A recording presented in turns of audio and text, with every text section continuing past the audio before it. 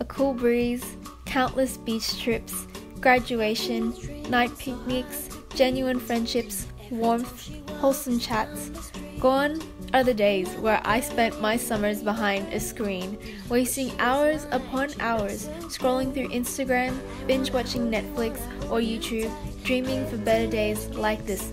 I actually got off the couch this summer and had the most memorable summer of my life. And here's how I did it it all starts with expectation. Have an expectation of what you want your life to look like. If your expectation is low, lift it higher. If you're not surrounded by people with high expectations for your life, find other people that do have higher expectations for their lives. Expect more from your life than just your average.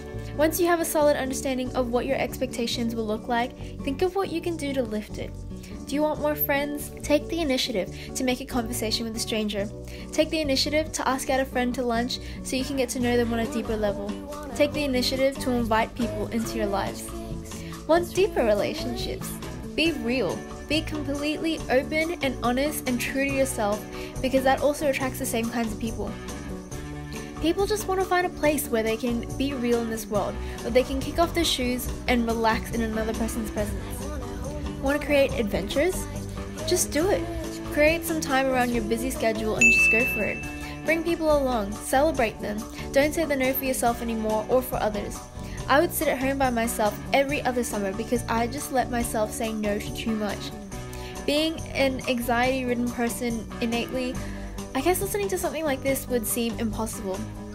I would literally sit at home and skip out on life because I was too anxious and didn't want to take the initiative to do something about it. But all these beautiful things that have happened in my life, they happen at the edge of your comfort zone. Life happens at the edge of your comfort zone. I literally, still to this day, have to fight every single day to be able to say yes to things. It might have now come out of habit, out of faking it till I make it, through the continuous grace I'm so graciously given every day by loving God to live this life. But oh my goodness, am I so grateful that I have that because if it wouldn't be for that, I wouldn't have had the best summer of my life.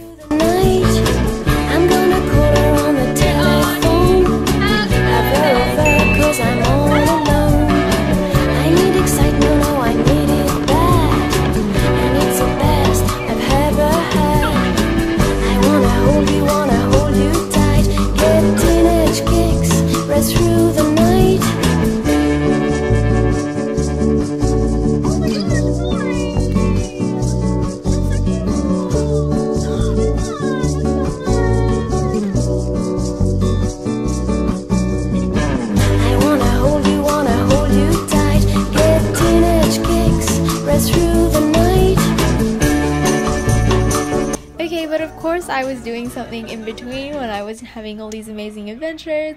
Spent the majority of my summer here, and well, that's just the face of a girl who looks like she's absolutely loving it.